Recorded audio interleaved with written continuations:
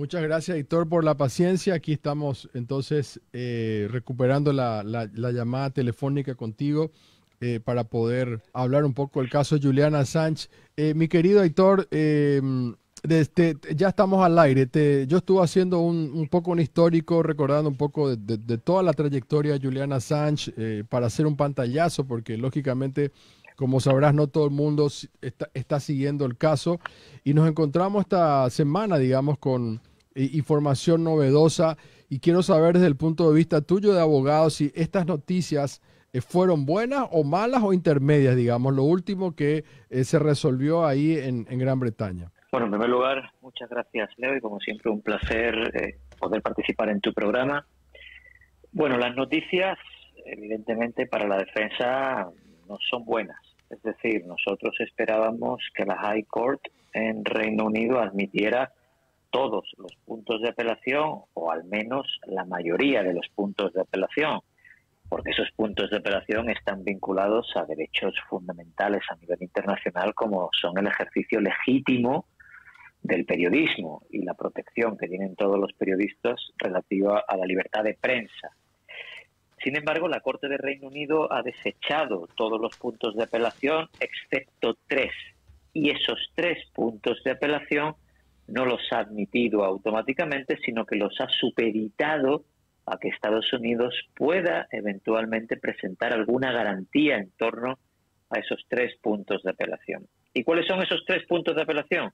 El primero es si Julian Assange estaría cubierto en un enjuiciamiento en Estados Unidos por el artículo 10 del Convenio Europeo de Derechos Humanos, que recoge la libertad de expresión y su extensión la libertad de prensa. Es decir, si en Estados Unidos se le aplicaría la primera enmienda de la Constitución norteamericana. El segundo punto de apelación es si eh, Julian Assange sería tratado en Estados Unidos con los mismos derechos que un nacional norteamericano o si no tendría las mismas garantías procesales por ser un ciudadano extranjero, en este caso australiano. Y la tercera, el tercer punto de apelación es relativo a si una vez Julian Assange se encuentra en Estados Unidos, se le podrían abrir nuevas causas o imputar nuevos cargos y si adicionalmente alguno de ellos podría conllevar la pena de muerte. Esos tres puntos de apelación han sido admitidos, pero supeditados a que Estados Unidos pueda presentar hasta el 16 de abril alguna garantía en torno a si le aplicaría la primera enmienda y si garantizaría que no se aplicaría un cargo de pena de muerte contra Julian Assange. ¿Y esa garantía cómo sería? ¿Tiene que ser una garantía por escrita? Eh, ¿Se puede creer en esa garantía? ¿Quién debe dar la garantía realmente? Bueno, en primer lugar, para nosotros esta extradición no versa sobre la existencia o no de garantías. Esta extradición versa sobre si se puede perseguir penalmente a un periodista simplemente por publicar información veraz, proveniente de fuentes legítimas, de interés público y que además acreditaba crímenes de guerra. Es decir, no hay garantía posible que cubra una persecución claramente política y que atenta contra todo el periodismo del mundo. Por lo tanto, en primer lugar, hay que dejar sentado que para nosotros este no es un proceso que verse sobre garantías. En segundo lugar, ese conjunto de garantías se denominan garantías diplomáticas, porque se dan de Estado a Estado y se dan a través de poderes ejecutivos, es decir, sería el gobierno norteamericano el que tiene que dar esa garantía. Nosotros hemos acreditado que en múltiples ocasiones, y hemos registrado diversos precedentes con países europeos, cuando Estados Unidos está perdiendo una extradición porque a lo mejor el órgano judicial de ese país europeo cuestione su sistema penitenciario o cuestione algún elemento que no está bajo los estándares europeos en relación a derechos humanos, Estados Unidos suele ofrecer garantías y después sistemáticamente las viola cuando el extraditable se encuentra ya en su territorio. Y hay múltiples precedentes. Yo, por ejemplo, presenté una legal opinion ante la High Court en relación a los casos de violaciones de garantías diplomáticas con la justicia española.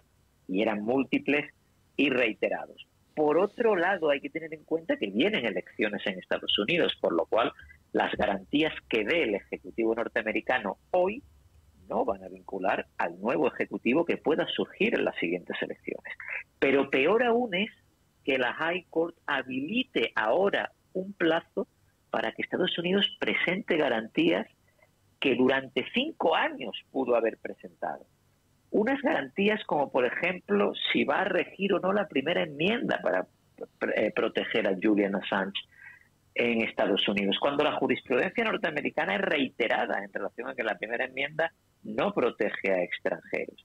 Y además el Poder Ejecutivo no puede garantizar si una Corte de Justicia va o no a aplicar la primera enmienda, porque no es una competencia del Poder Ejecutivo. Y ya por último, indiscutiblemente es aberrante que estemos debatiendo si se le puede o no aplicar la pena de muerte a una persona cuyo único delito habría sido publicar información veraz que acreditaba la Comisión de Crímenes de Guerra. Por lo tanto, para nosotros este proceso que se abre ahora es un sinsentido porque, insisto, esta extradición no versa sobre garantías o no, versa sobre persecución política al ejercicio del periodismo. Claro, entiendo eso, mi querido editor, y, justamente estábamos eh, nosotros en este, como te decía antes, estábamos haciendo eh, un poco de repaso y habíamos recordado aquel video que publicó Wikileaks en, Bagdad, donde morían dos periodistas de la agencia Reuters y que realmente después fue comprobado fehacientemente que fue un video real. Eh, que no fue nada inventado, etcétera. Es decir, hubo mucho material que publicó Wikileaks y Julian Assange como, como su fundador y su portavoz, que gracias a eso nos hemos enterado de muchas eh, de, muchos trapos sucios, por usar un término, eh, y de muchas cosas que nunca nos hubiéramos enterado. eso me parece que está clarísimo. Como siempre vos lo repetís, es, este es un atentado a la libertad de prensa a nivel mundial. Es un, es un desafío para el periodismo y para los investigadores porque quiere decir que cualquiera puede terminar en una cárcel en Estados Unidos eh, y otros pueden querer hacer lo mismo en sus respectivos países. Digamos, esto puede desencadenar mucho. Eh, ahora, eh, desde el punto de vista estrictamente de lo que responde en, el pedido de ustedes, digamos, el juzgado en Gran Bretaña, eh, hay un plazo que tú ya explicaste que ahora tiene que Estados Unidos responder, digamos. ¿Qué pasa si Estados Unidos no responde a tiempo? Eh, ¿Cuál es la, expectativa de ustedes? Bien, ahora, de aquí al 16 de abril de este año, Estados Unidos tiene que aportar o no garantías diplomáticas en relación a la primera enmienda y a la no aplicación de una pena de muerte.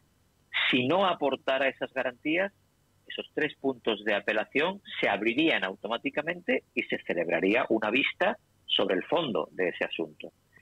Si Estados Unidos presentara garantías diplomáticas de aquí al 16 de abril, la High Court británica daría traslado a las partes de esas garantías diplomáticas para que informaran al respecto. Y se celebraría una vista el 20 de mayo en la que las partes podrían alegar en relación al contenido, a la extensión y a las características de esas garantías diplomáticas. Por lo tanto, si no se aportan garantías diplomáticas, se abren los tres puntos de apelación y si se aportan garantías diplomáticas, se debatirán en una nueva vista el 20 de mayo de este año.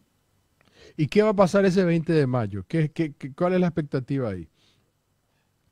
Pues si Estados Unidos aporta alguna garantía, evidentemente la defensa eh, contrarrestará a las mismas porque, en primer lugar, eh, es de larga data la jurisprudencia norteamericana que acredita que la primera enmienda, que reconoce la libertad de expresión y la libertad de prensa, no se aplica a los periodistas. Por lo tanto, parecería extraño que ahora el Ejecutivo norteamericano, en contra de reiterada y asentada jurisprudencia de sus tribunales, viniera a garantizar la primera enmienda a Julian Assange, cuando todos sabemos que en múltiples discursos y declaraciones públicas de autoridades norteamericanas siempre se ha significado que Julian Assange no está cubierto por la primera enmienda. Para empezar, por el propio Mike Pompeo, exdirector de la CIA y secretario de Estado, que en reiteradas ocasiones ha afirmado que no le cubriría la primera enmienda. Y en relación a la pena de muerte, evidentemente también nos opondríamos, porque en Estados Unidos es reiterado que una vez una persona es extraditada, se le eh, imputen nuevos cargos y se le abran nuevas causas y por lo tanto se le viole el principio de especialidad. Y hay que recordar que en el caso de Julian Assange, ahora mismo la extradición solo se reclama en relación a la publicación de los cables de Irak, Afganistán y el Cable Gate. Pero también existe una causa que podría reactivarse en relación a la publicación de los cables de la Convención Nacional Demócrata, los correos de Hillary Clinton o el paquete de información tan sensible Vault 7 sobre las herramientas de hackeo de la CIA. Por lo tanto, esas causas podrían abrirse una vez Juliana Sánchez está en Estados Unidos, violando así el principio de especialidad, imputándole nuevos cargos que no han estado sometidos a esta extradición algunos de los cuales podrían conllevar la pena de muerte. Por lo tanto, la respuesta es que nos opondríamos a esas garantías porque carecen de toda virtualidad. Y, y, al estar en esa situación donde, donde ustedes, con, con, como estaba explicando, con absoluta, digamos, claridad, eh, creen, y eso te, lo, tengo que volver a preguntar, Aitor, eh, ¿ustedes creen que si eh, Julian Assange va a Estados Unidos, él sufriría la pena de muerte? En primer lugar, la respuesta es que si se perdiera esta extradición, hay que recordar que faltaría el Tribunal Europeo de Derechos Humanos, un organismo homólogo a la Corte Interamericana de Derechos Humanos, donde no tenemos ninguna duda que separaría esta extradición por parte del Tribunal de Estrasburgo. Ahora bien, si preguntas un futurible en relación a si Julian Assange fuera enviado a Estados Unidos, la respuesta la tienes en las propias autoridades norteamericanas. Si googleas Julian Assange pena de muerte, vas a encontrar a múltiples autoridades de Estados Unidos que vienen durante una década reclamando que se le aplique la pena de muerte a Julian Assange. Por lo cual, efectivamente, es una posibilidad que una vez se encuentre en Estados Unidos, se cambie la potencial pena de 175 años de cárcel que pesa a día de hoy sobre él, que ya es una cadena perpetua de facto, por una pena de muerte. Entonces, a ver, para entender eh, la causa, volviendo a lo que es la causa en sí jurídica, ahora eh, el siguiente paso, si es que Estados Unidos da una respuesta y Gran Bretaña dice, bueno, puede ir extraditado, ustedes van a ir a la Corte, eh, lo que sería lo mismo que la Corte Interamericana, pero en Estrasburgo, en la Comunidad Europea. Así es. Bueno, realmente el Tribunal Europeo de Derechos Humanos no depende de la Unión Europea. De hecho, Reino Unido está fuera ya de la Unión Europea desde el Brexit. Pertenece al Consejo de Europa, que es otra organización internacional homóloga a la OEA, a la Organización de Estados Americanos. Efectivamente, si después de este trámite procesal y después de la celebración del 20 de mayo la justicia británica resolviera no admitir ningún punto de apelación, porque la High Court entiende que efectivamente esas garantías son suficientes, automáticamente presentaríamos una demanda al Tribunal Europeo de Derechos Humanos porque ya se habrían agotado los recursos judiciales internos en Reino Unido y esa demanda de fondo al Tribunal Europeo de Derechos Humanos iría acompañada de una medida cautelar en la que se solicitaría al Tribunal de Estrasburgo que indique a Reino Unido que no puede materializar la entrega hasta que no resuelva la demanda de fondo e indiscutiblemente no dudamos en que el Tribunal de Estrasburgo pararía esta extradición, básicamente porque todos los organismos internacionales de derechos humanos, comités de la ONU, grupos de trabajo de la ONU, relatores especiales, Comisión Interamericana de Derechos Humanos, todos los organismos de la arquitectura institucional de derechos humanos del mundo se han pronunciado en contra de esta extradición, por lo cual no dudaríamos en que el Tribunal Europeo de Derechos Humanos igualmente la pararía. Bueno, esa es una, una, una alentadora noticia, eh, Aitor, em, lo que no significa que él esté em, en libertad eh, a futuro, digamos, o, o, cuál sería el siguiente paso, ah, siguiendo un poco la lógica que estás explicando vos, si, si, si este tribunal de Estrasburgo dice no, él no va a Estados Unidos, vamos a analizar la causa. Eso puede llevar tantos años, él va a seguir en las mismas condiciones, 23 horas prácticamente encerrado, eh, eh, con un estado de salud deplorable, a, no ser que tú me cuentes eh, otra noticia más actual, digamos, pero ¿hay algún indicio de que, de que aquí lo que se quiere es parar la ida a Estados Unidos, pero no, no estamos ni de cerca a la libertad? Bueno, tal y como acabas de indicar, el proceso en relación a Julian Assange ya ha sido una condena en sí mismo. Julian Assange lleva privado de libertad desde el año 2010, 14 años, en una u otra forma. En un primer momento sufrió una prisión provisional en Londres, después sufrió un arresto domiciliario, posteriormente durante casi siete años en la Embajada de Ecuador en Londres, viviendo una situación infrahumana, y ahora en una cárcel de máxima seguridad por cinco años, una cárcel conocida en Reino Unido como la Guantánamo británica, por sus condiciones donde principalmente además se encuentran peligrosos terroristas. ¿no? Eh, Julian Assange se encuentra en una situación de salud muy delicada y esto no es algo que yo haya podido percibir en más de una década que vengo visitando a Julian Assange. Recientemente lo volví a ver en la prisión de Belmarsh, no es una cuestión subjetiva, sino que diversos médicos han alertado ya de su situación de salud, incluyendo al relator de la ONU contra la tortura, Nils Melzer, que visitó a Julian Assange con dos médicos de Naciones Unidas especializados en tortura y cuyo dictamen fue elevado al Consejo de Derechos Humanos de la ONU, indicando taxativamente que Julian Assange estaba sometido a una situación de tortura que le podría conllevar la muerte en prisión o incluso cometer suicidio. Además, el relator indicó que en todos los años que llevaba trabajando en casos de tortura en el mundo, nunca había visto un caso similar en el que democracias autodenominadas avanzadas estuvieran infligiendo una tortura de estas características a un ciudadano por el simple hecho de publicar información veraz. Pues bien, ante esa situación, cuando se ha reclamado la libertad provisional para que pueda seguir dilucidándose la extradición, pero en libertad por el delicado estado de salud en el que se encuentra, las autoridades británicas siempre lo han rechazado. Por lo tanto, si se alargara el proceso de extradición y hubiera que ir al Tribunal Europeo de Derechos Humanos, se solicitaría nuevamente la libertad provisional, pero quedaría nuevamente en manos de las autoridades británicas acordar o no esa libertad provisional. Y lo cierto es, como bien has dicho, que el propio proceso se está constituyendo ya en una condena para Julian Assange. Una condena, además, indiscutiblemente irreparable para su salud física y mental. Sí, el, trato que ha recibido por lo que vos nos contás y también leemos de, terrorista prácticamente, esto que decía el Guantánamo, eh, es, es, una buena manera de explicarlo también, muy, muy nuestra para entender aquí en América Latina lo que seguimos eh, y sabemos lo que es Guantánamo, eh, y, entender que eh, el estado de salud de él es, es un estado de salud complejo, que le han visitado los médicos y que él no es un terrorista, él es un periodista, él es un activista, digamos, que ha expuesto material sensible al mundo que nosotros deberíamos saber como, como cualquiera, ¿no? Tenemos la libertad de saber qué está pasando eh, en, un ataque que está pasando en una campaña presidencial. Es decir, nosotros tenemos ese derecho, Aitor, y sin embargo, él por exponer estos derechos que tenemos de la libre expresión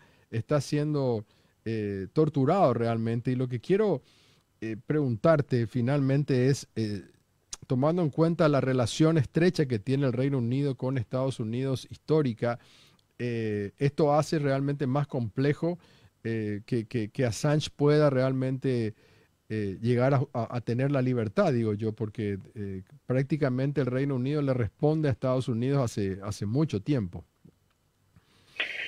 En primer lugar, antes de responder a tu pregunta sobre la relación cercana que mantienen Estados Unidos y Reino Unido, en relación a lo que indicabas anteriormente de que Julian Assange no es ningún terrorista y sin embargo está enfrentando un tratamiento penitenciario y un tratamiento procesal inhumano, lo cierto es que, por ejemplo, y solo por significar el ejemplo que, has relatado anteriormente, ¿no? El, el vídeo denominado Collateral Murder, ¿no? Donde unos militares norteamericanos sobrevolaban un barrio de Bagdad y disparan indiscriminadamente contra civiles, eh, algunos de ellos, dos periodistas de la agencia Reuters, riéndose como si estuvieran jugando a un videojuego, e incluso después un padre que llevaba a dos niños al colegio para socorrer a los heridos y tirotean al vehículo con el padre y los dos niños que simplemente habían parado a socorrer a los heridos. Matan al padre y dejan gravemente heridos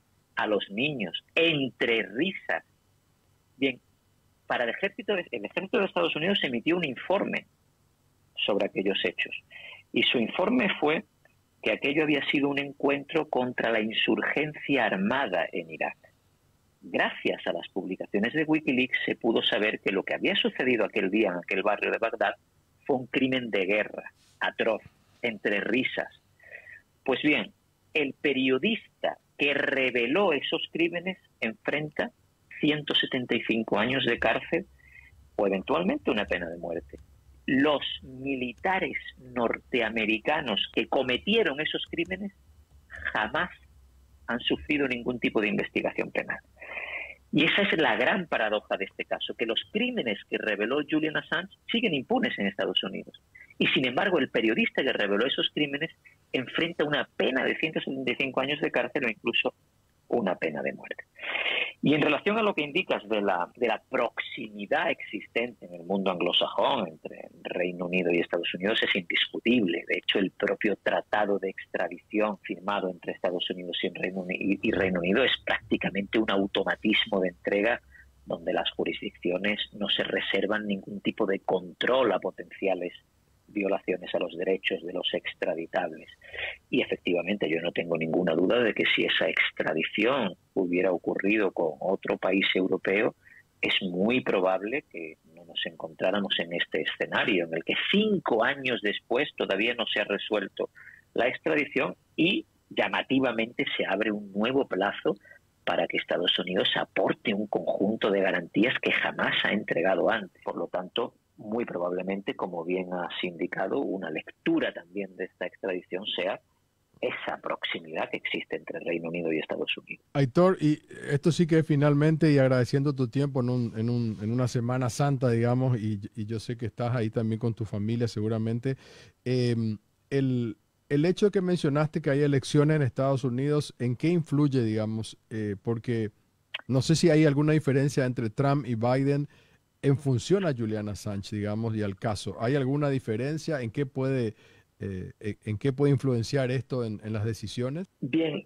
si analizamos el caso de Julian Assange, que se dilata ya por 14 años, veremos que en Estados Unidos han pasado diversas administraciones y podríamos extraer alguna conclusión. En un primer momento, la administración de Barack Obama no impuso cargos a Julian Assange y de hecho miembros del Departamento de Justicia de la época de, Barack Obama han reconocido a día de hoy que ellos no imputaron cargos a Julian Assange porque tenían dudas si esos cargos podrían afectar radicalmente a la primera enmienda y a la libertad de prensa. Posteriormente, la administración Trump desplegó nada más y nada menos que 18 cargos contra Julian Assange, de los cuales 17 se enmarcan bajo la ley de espionaje, una ley de 1917, es decir, una ley de la Primera Guerra Mundial para perseguir espías y que no registra precedentes de aplicación a un periodista por publicar información veraz, es decir, que erige a un periodista como espía. Por lo tanto, ahí podríamos extraer una primera conclusión de que ha habido una mayor agresividad por parte de los republicanos. Sin embargo,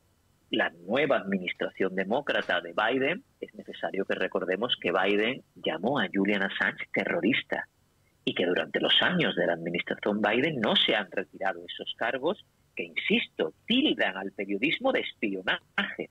Por lo tanto, mi conclusión es que administración republicana o administración demócrata no vamos a encontrar una gran diferencia en el tratamiento al caso Assange.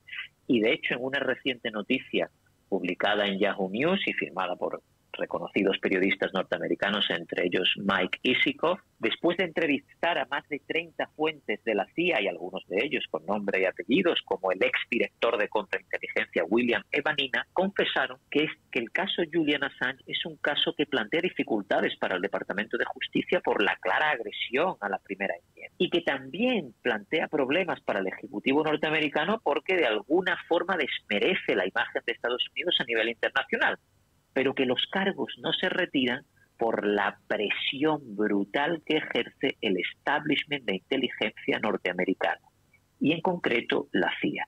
Y muy probablemente en esa noticia encontremos la respuesta a por qué Estados Unidos no retira los cargos y es por la enorme presión que ejerce el establishment de la CIA ante el Departamento de Justicia y ante el gobierno de Estados Unidos. Y esos, eh, eh, esos agentes de inteligencia que confesaron en esa noticia dijeron que lo que hacía la CIA era devolver una venganza a Julian Assange por haberles avergonzado a nivel mundial. Es decir, que al final todo sería una venganza del establishment de inteligencia contra un periodista. Sí, queda clarísimo eso, Aitor. Nosotros, mientras hablábamos contigo, también estábamos volviendo a poner las eh, imágenes de Bagdad y, ahí se, se, puede leer los que, los que leen en inglés eh, un poco los comentarios de los soldados, del ida y vuelta, y decir eh, de qué manera tan horrorosa, digamos,